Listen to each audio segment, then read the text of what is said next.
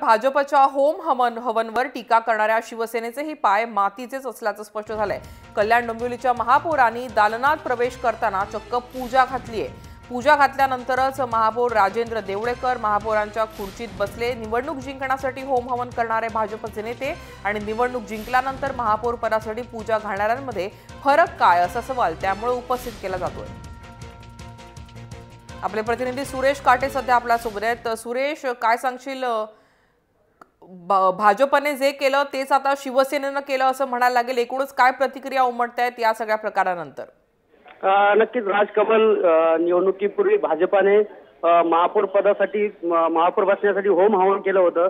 आणि आता शिवसेनेने तोच प्रकार पुढे केलेला आहे की महापौरच्या खुर्चीवरती बसण्यासाठी महापौरच्या दालनामध्ये अ, सहपत्नीसह राजेंद्र देवळकर यांनी एक पूजा केलेली आहे. त्यामुळे आता हा एक चर्चेचा विषय बनला आहे.